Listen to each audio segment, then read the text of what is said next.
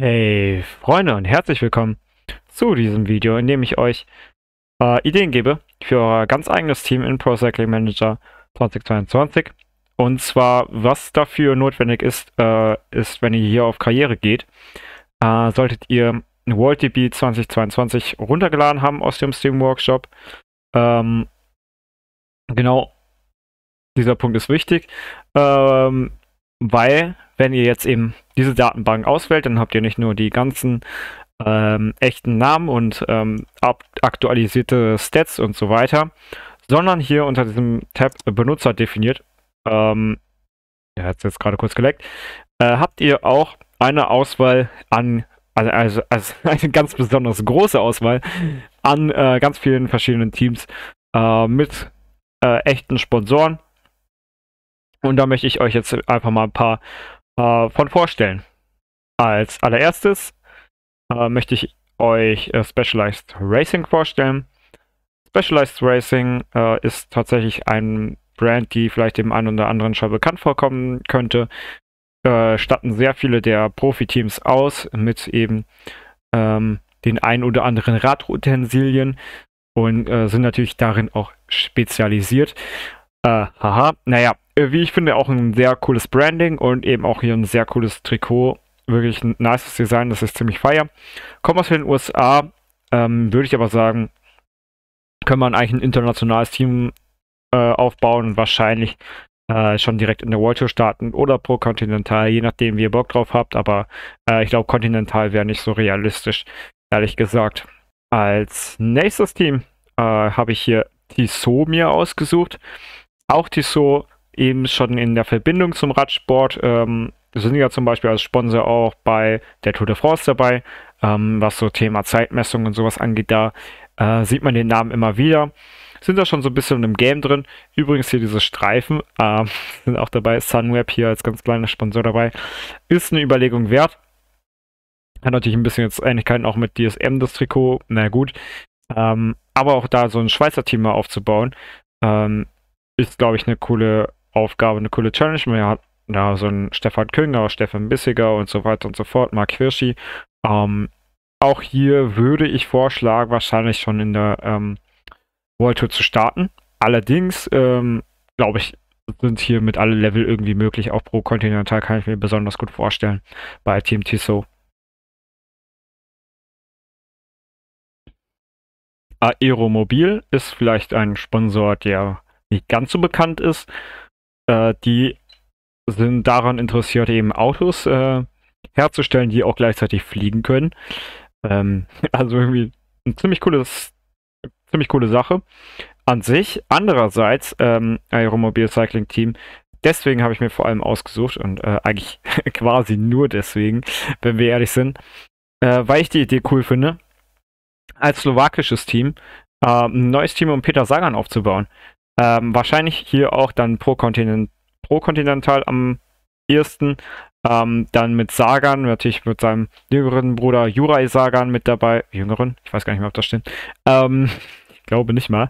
Äh, auf jeden Fall mit auch seinem nicht so sehr bekannten Bruder Juraj Sagan, den, äh, den er aber immer mit als Helfer an der Seite hat.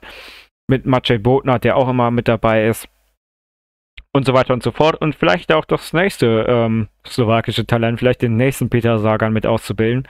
Ähm, kann ich mir ziemlich, ziemlich cool vorstellen. Gerade pro Kontinental mit Peter Sagan und so, das glaube ich macht richtig viel Spaß. Und ist einfach eine nice Idee.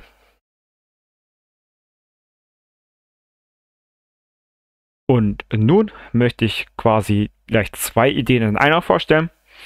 Und wir befinden uns hier jetzt in Japan und haben hier einmal Kyoto, die ehemalige Hauptstadt von äh, Japan.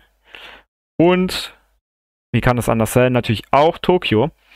Ähm, sind hier zwei Städtevereine. Ich finde beide Trikots mega cool. Äh, haben natürlich ihre, ihren eigenen Vibe. Ich weiß nicht, ob das Kyoto Jersey von jedem was ist. Ich finde es persönlich super cool. Äh, mir gefällt es richtig gut.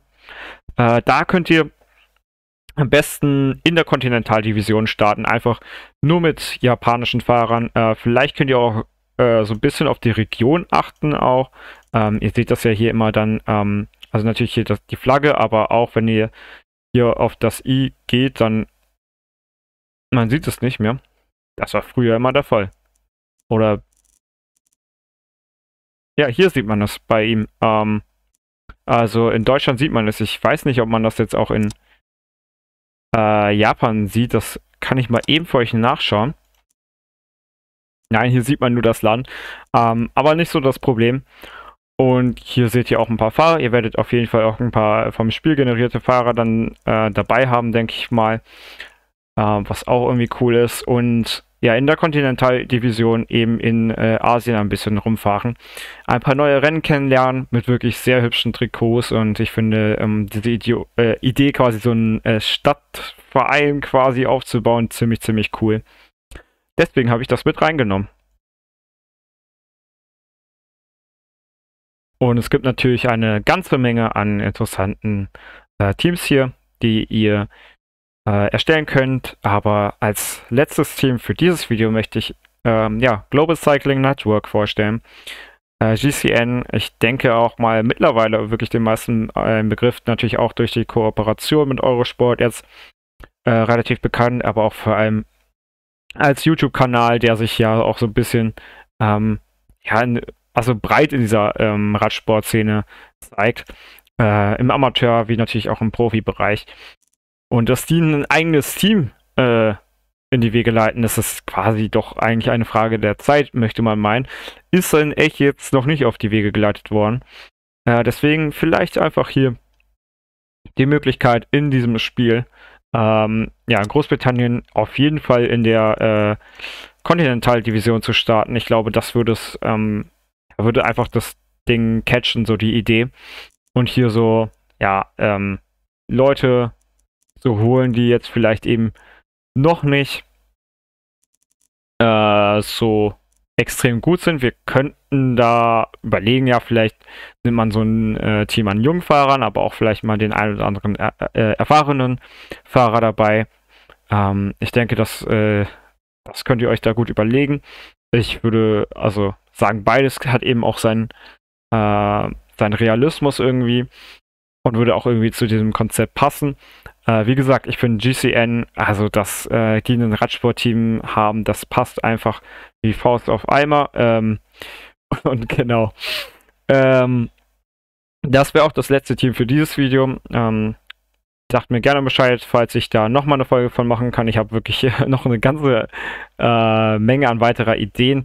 Das waren die Teams, die ich äh, euch für heute vorstellen möchte. Und ja, äh, ansonsten schaut noch gerne bei den anderen Videos von mir rein. Ich äh, lade gerade ganz viele Tour de France Videos hoch, aber werde jetzt auch demnächst eine Karriere starten. Insofern ähm, drückt doch gerne einfach mal den Abonnieren-Button und lasst auch eine Glocke da. Ähm, ja, ich bin in dem YouTube-Talk nicht so ganz drin. Wir sehen uns auf jeden Fall. Beides mal, haut rein und bye bye.